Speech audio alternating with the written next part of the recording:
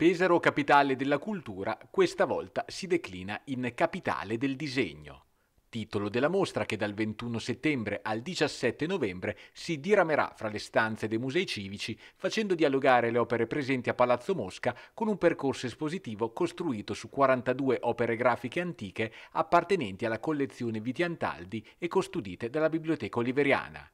A cominciare dal prezioso foglio autografo giovanile di Raffaello Sanzio, l'ultimo sopravvissuto di una collezione che torna in mostra dopo vent'anni, svelando la potenza espressiva di quello che poi sarà il talento immortale del maestro. Il disegno è una preparazione della figura di Cristo per l'opera Resurrezione, oggi conservata al Museo di San Paolo del Brasile. L'ultimo sopravvissuto, importantissimo perché è un disegno giovanile, molto giovanile e dunque è un disegno che ci permette di capire quanto Raffaello sia stato bravo nel disegno fin da subito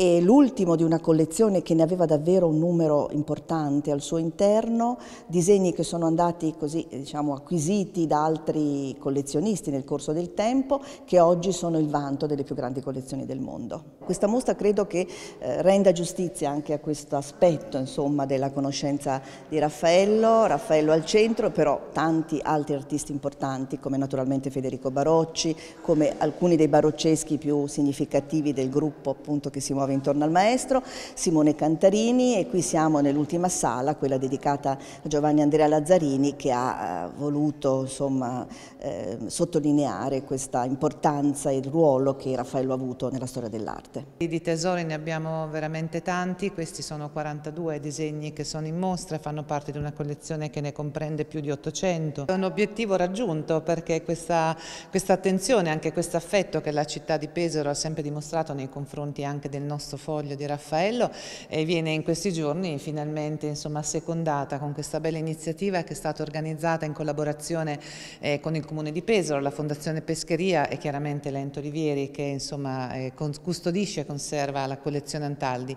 Mm, credo che sia un bel risultato, ne siamo contenti, siamo felici soprattutto che anche in un momento così un po' difficile se vogliamo, ma insomma un momento che ci porterà a un futuro radioso insomma, dell'Ente Olivieri in restauro restauro, insomma la nostra sede in restauro, queste sono occasioni nelle quali comunque riusciamo a dare spazio e visibilità al nostro patrimonio che comunque rimane un patrimonio eh, a disposizione della, della città e di tutti coloro che sono interessati, quindi questa iniziativa ci rende particolarmente, particolarmente felici e contenti. I disegni eh, sono oggetti fragili per cui in molti casi sono andati perduti, però i disegni raccontano quella parte più intima del fare artistico, quella che comincia da un primo pensiero dell'artista che diventa eh, un segno proprio sulla carta e che pian piano crescendo dà vita all'opera finita.